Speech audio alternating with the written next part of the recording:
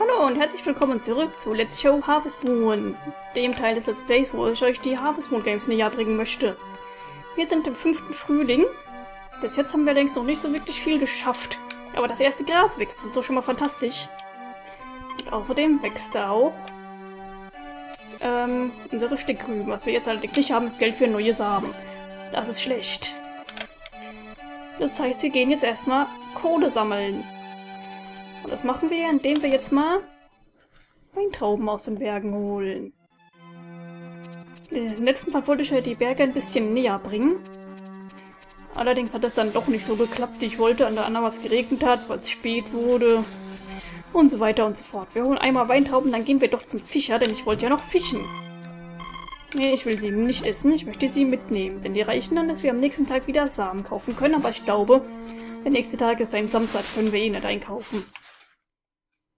Naja, das ist nicht so schlimm. Wir werden noch genug Gelegenheit haben, Samen zu kaufen. Das hat jetzt aber gedauert.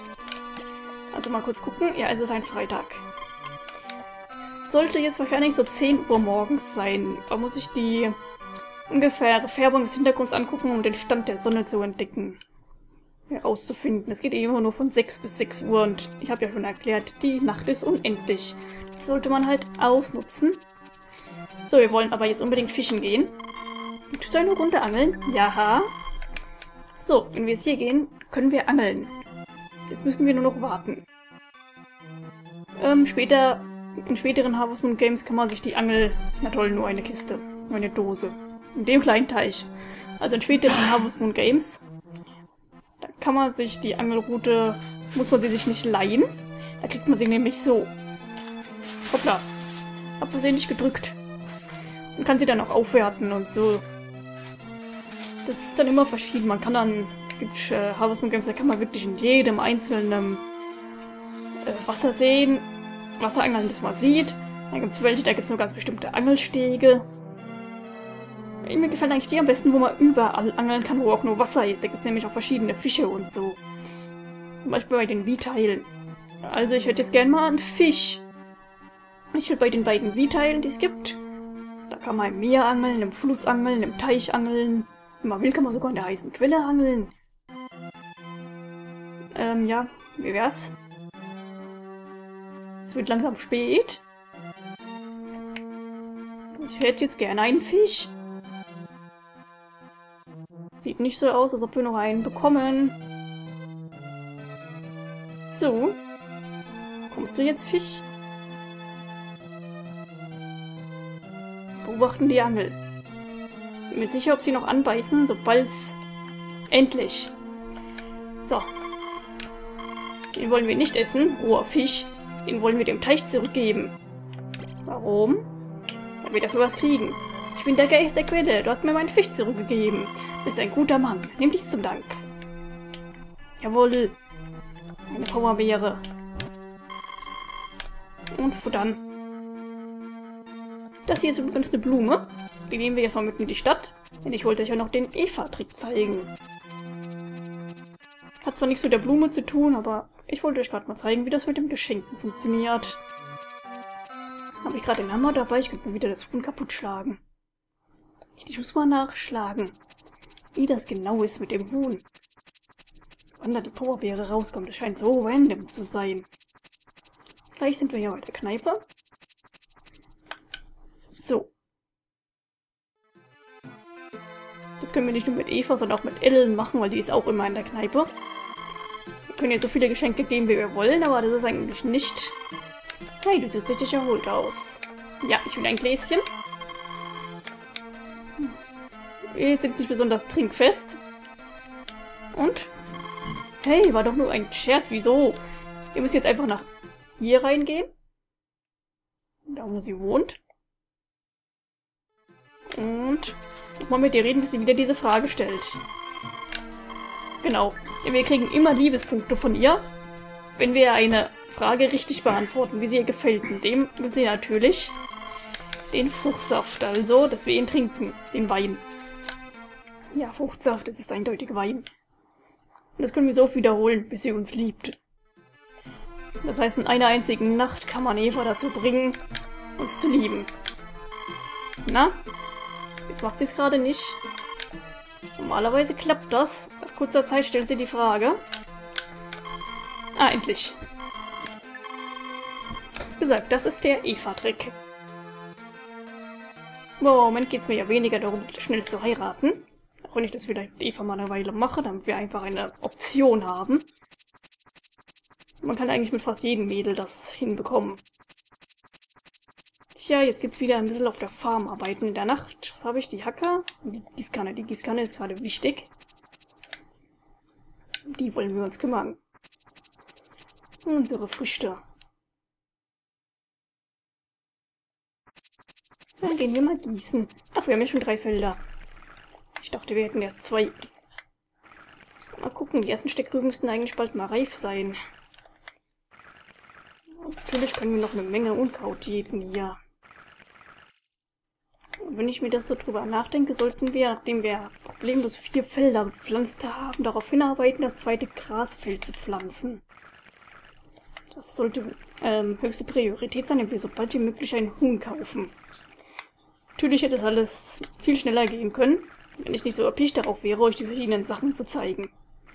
Aber ist ja klar. Das hier soll eine Show sein, es wird ein bisschen gemütlicher. Das soll kein sein, wie spiele ich Harvest am schnellsten und effektivsten durch. Auch wenn ich das hinbekommen würde. Gerade das erste Harvest habe ich bis zum Erbrechen gespielt. Ich spiele sie immer noch gerne, aber es gibt gerade so viele, dass ich manche noch gar nicht richtig spielen konnte. Oh, ist gut.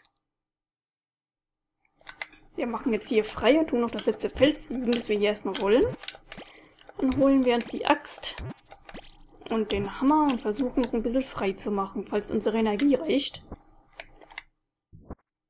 Was mich immer ein bisschen stört, ist, ah, wir haben Geld gefunden. Es gibt keine Musik in der Nacht.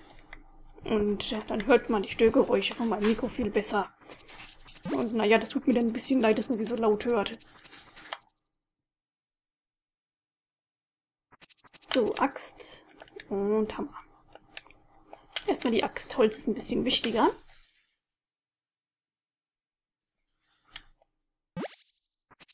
Und erstmal das, was wir direkt vor unserer Nase sehen. Eins, zwei, drei, vier, fünf, sechs. Ja, wir hätten noch eine Axt finden, die kann die mit einem einzigen Schlag wegmachen, aber bis dahin haben wir wahrscheinlich sämtliche Baumstümpfe auf der Farm entfernt. Wäre eigentlich toll, wenn man die ein bisschen früher bekommen würde. Allerdings reicht es erstmal hier am Anfang alles wegzumachen. Das Gras wird irgendwann wieder nachwachsen, da muss man ab und zu über die Farm gehen. Es ist sowieso eine Riesenfläche, die kann man gar nicht ganz bepflanzen. Ich glaube, das war auch in der Zunge klar, die das Spiel machen. Und deswegen haben sie in Zukunft die Farms ein bisschen kleiner gemacht. Nicht mehr ganz so riesig wie im SNES-Teil. Auf dem Playstation-Teil ist sie immer noch ziemlich riesig. Wenn man allerdings ordentlich Gras pflanzt, wirkt sie gar nicht mehr so riesig. Und auf dem N64 kommt man eigentlich auch gut mit dem Platz zurecht. Für Gras für Felder. Und jetzt sind wir erstmal im SNES-Teil. Wie gesagt, die Farbe war viel zu groß. Wir haben immer noch Energie. Ich würde sagen, holen wir uns noch in diese Richtung. Ich versuche mal den großen Stein auch noch wegzubekommen. Oh, okay. Wir sind schon erledigt. Ich werde noch ein bisschen Unkraut hier rupfen. Und den kleinen Stein hier wegtun. Zack. Gesagt, diese Farm ist viel zu groß. Und hier gibt es noch eine Menge, Menge wegzumachen. Tja. Aber für den Moment reicht's. Wir haben jetzt erstmal schön frei gemacht. Das nächste Mal machen wir dann hier in diese Richtung frei. Oh, sieh mal an. Das habe ich ja noch gar nicht gezupft. Das kann nicht angehen. Weg damit. Wie gesagt, als nächstes würde ich gerne auf den nächsten Grassack ähm, hinarbeiten. Rein. Ich habe mir mal kurz den Wetterbericht von morgen. Vielleicht müssen wir ja gar nicht gießen. Wie sieht's aus? Oh, tatsächlich. In der Nacht setzen Regenfälle ein, die sich erstrecken. Jawohl. Ja, wollen wir? So, bei dem Regen lassen wir natürlich unseren Hund im Haus. Einkaufen können wir heute leider nicht. Weil es ist Sonnabend, ja. Wir haben... Sie sind reif. Dann werden sie mal schnell geerntet. So, das Blöde ist, wenn es am Samstag regnet, können wir nicht mit den Mädels reden. Außer mit Eva, glaube ich.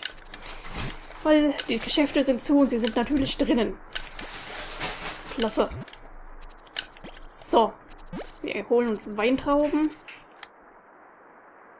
Und ich würde sagen, dann wird der Rest des Tages halt damit verbracht, ein bisschen auf der Farm zu arbeiten. Nee, auch nicht. Auch nichts mit Regentagen zu tun, wie scheint. Außerdem kann ich schon mal die Felder vorpflügen, wo Gras dann hin soll. Hm. Das muss ich mir noch überlegen, wie ich das am besten mache. Ich würde sagen, erstmal machen wir äh, den Weg frei, die Farm frei. Wir können uns eigentlich jede Menge Weithauben holen bis Nacht, das finde ich aber ein bisschen zu langweilig. Das erste Harvestmonat doch noch ein bisschen langatmig. Wahrscheinlich werde ich irgendwann mal ein paar Tage überspringen, bis was Interessantes passiert. Mal gucken. Den Weintauben dürften wir dann genug Geld haben, um nicht nur neue Samen zu kaufen, sondern auch neue Grassamen. So, was machen wir? Erstmal zupfen wir hier das Gras. Ja, da ist schon der Zaun kaputt gegangen. Die Farm ist zu groß. Da will ich nicht rein. Das Haus können wir übrigens zweimal ausbauen lassen. Ach, schon Mittag? Schon wird ein Croissant gegessen, wo auch immer unser kleiner Farmer sie herbekommt. So, wir wollten hier frei machen. Erstmal den hier. Dann die Steine. In späteren Harvest kann man, wenn man Regen bekommt, Erkältungen bekommen. Das ist dann nicht so nett. Dann ist man erkältet, muss entweder im Bett bleiben oder man verschläft, weil man ein bisschen Fieber hatte. Und das kann dann passieren, dass man nicht um 6 aufwacht, sondern erst um 12. Das dann ganz schön Zeit kostet. Vor allem, was dann nicht mehr die unendliche Nacht gibt in diesen Harvest Moons. Okay, ich würde sagen, wir nehmen erstmal unsere Axt. Und machen hier noch ein bisschen zack und zack. Einen will ich noch. Oh nein, ich bin weggegangen. Eins, zwei, drei, vier, fünf, sechs. Wird schon spät. Die Tage dauern nicht lang. Jetzt hole ich die Hacke. Würde nämlich gerne noch ein bisschen Grasfelder flügeln. Komm her. Die Gießkanne holen wir uns dann wieder, wenn es wieder äh, sonnig ist.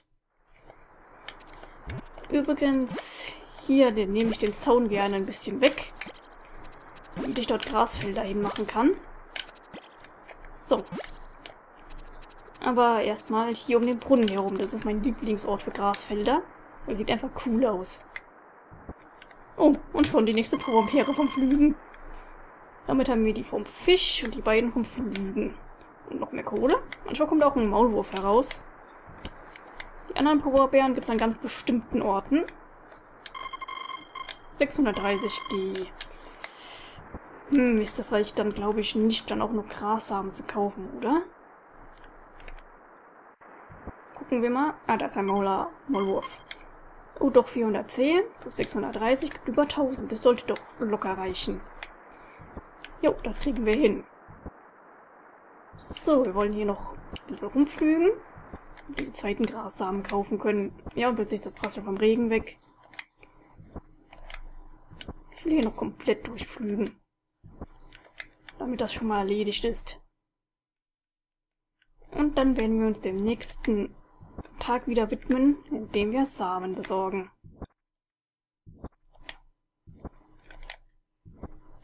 Tja, beim Flügen gibt es nicht viel zu sagen. Aber ich glaube, ich kann nicht mehr viel flügen, bevor ich umkippe. Ha, hat gerade noch gereicht. So, gehen wir wieder hinein. Oh nein, wir können ja morgen gar nicht einkaufen. Ach, shit. Jetzt ist ja Sonntag, da können wir uns noch ein bisschen mehr Geld besorgen. Ja. Was für ein Fail. Ah, der Hund hat gebellt. Das heißt, es waren wildernde Hunde da. Heute ist ein schöner Tag. Dann schauen wir gleich mal, ob noch was reif ist. Was ich allerdings nicht glaube.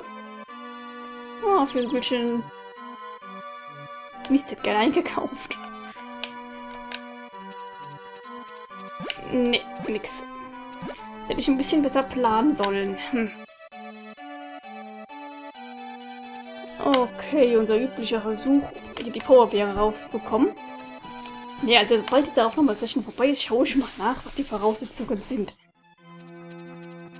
Wir haben sie noch nicht, da bin ich mir jetzt sicher. Ja, die Holzfäller sind jetzt auch nicht da. Aber der Jäger ist nicht da. Ich glaube, der ist ganz woanders am Wochenende. Ganz oben oder so. Wir nehmen uns hier diese Weintrauben und nehmen sie mit. Und das Ganze wiederholen wir dann noch, damit wir 300 G bekommen, weil eine von denen gibt 150, wie ihr sich schon richtig geraten habt. Dann verbringen wir den Rest der Zeit wieder mit ein bisschen Farmarbeit. Ich meine, was wir mal sonst machen. Man kann sich ja drei oder viermal die Weintrauben holen. So schwer ist es eigentlich nicht, hier das Geld zusammenzubekommen, was man braucht. In der Regel versuche ich immer so schnell wie möglich zu heiraten, aber da wir uns hier noch für kein Mädchen entschieden haben und ich weiß, ist, wie leicht es ist, hier die Mädels rumzukriegen, müssen wir uns da weniger drum kümmern. In den anderen Harvestmuster dauert das, die Mädels rumzukriegen. Da braucht man gut ein Jahr, bis sie sich mal in einen verliebt haben. Hier, da muss man einfach nur diesen Fragetrick machen. Jedes dieser Mädels hat eine Frage. Das kann man dann bei Eva unendlich machen. Bei den anderen, bis es dunkel wird. Wenn man dann nicht mehr in die Lieden kann. Tja, werde ich bei Gelegenheit auch noch machen. Aber mir geht es wie gesagt erstmal hier um die Farmarbeit. Weniger um die Heiratssimulation. So, wir holen jetzt erstmal unsere Gießkanne und gießen noch. Dann holen wir wieder den Hammer oder die je nachdem was zurückhaben und kümmern uns noch ein bisschen ums Freischaffen des Landes. Ich würde sagen, wir tun sie gleich mal auffüllen. Wir sind ja neben dem Teich. Es wird langsam auch bisschen dunkler. Wahrscheinlich wird es gleich die Abenddämmerung eintreten, auch wenn es dann erst 3 Uhr ist. Jetzt dürfte 2 Uhr sein. Wir haben hier gerade erst Mittag gehabt. Ich mag ja diese Musik, aber auf der Uhr geht es ja immer auf die Nerven. So, 3 Uhr. Dann werden wir auch gleich sehen, ob wir dann die 300 bekommen. Dann können wir gleich mal zählen. Ja, dann hätten wir dann 1340. Das reicht eindeutig für Samen und Gras. Eindeutig. Und wir müssen noch zweimal Samen kaufen mindestens. Falls noch irgendwas reif wird, brauchen wir dann sogar dreimal Samen. Das wären dann 600 G. Für das Gras brauchen wir einmal 500. Ja, da muss man auch immer so ein bisschen sein Geld zusammenzählen, ob das alles klappt und so, wie man sich das vorgestellt hat. So, jetzt noch die Axt. Und ich würde sagen, wir machen jetzt erstmal diesen Teil hier rechts neben dem Schuppen ein bisschen freier. Einfach, weil da tue ich gerne meine Grasweide pflanzen. Da habe ich ja schon den Zaun ein bisschen weggenommen. Ah ja, genau 300. Und deswegen kümmern wir uns da drum. Man kann die Tiere, die man hat, übrigens draußen und drinnen halten. Das würde ja eigentlich sagen, drinnen ist ja besser, weil die Tage sind echt kurz. So, welches habe ich? Ich hatte die Axt. Gut. Und zack. Eins, zwei, drei, vier, fünf, sechs. Ihr kommt mal mit, ich steht nämlich hier. Nicht über den Zaun. Ich will euch hier oben haben. Man kann den Zaun auch komplett loswerden, wenn man will. Aber jetzt sieht hübsch aus. So, wir schauen mal kurz in den Geheimgarten. Genau drei, wie ich es mir dachte. Zwei von dem Flügel, einer vom Fisch. Die anderen, die kommen noch. Eine zum Beispiel kann man, glaube ich, kaufen. Wenn man genug Geld zu diesem Zeitpunkt hat, was eigentlich kein Problem sein sollte. Also man kann das Teil kaufen, hoppla immer zu viel, das zu dieser Powerbeere führt. Oh, tun wir uns schon den Schweiß abwischen. Egal, solange wir uns nicht bewegen. Mann. Das hat jetzt aber gedauert. Das sollte wieder mitzählen. Hier noch die Steine kaputt schlagen. Alles kaputt hauen. Eins, zwei, drei, vier, fünf und sechs. Eins.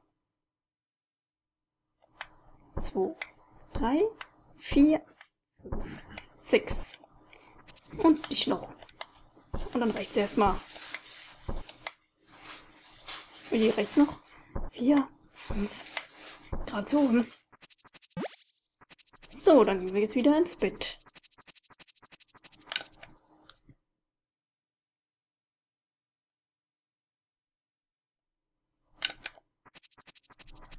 Dann sage ich vielen Dank fürs Zusehen. Schreibt mir in die Kommentare, wie es euch gefallen hat und was ihr vielleicht noch so sehen wollt. Und dann sage ich Gute Nacht.